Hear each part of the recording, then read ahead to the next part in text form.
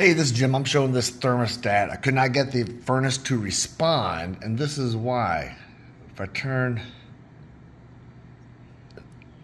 you can turn off the AC, but there's no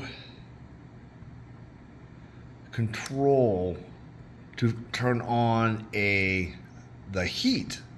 So it looks like the way this thing is set up is this only functions for an air conditioner if it was to do more while they they did not hook it up right, I can adjust the temperature for the AC just fine, nothing wrong with that.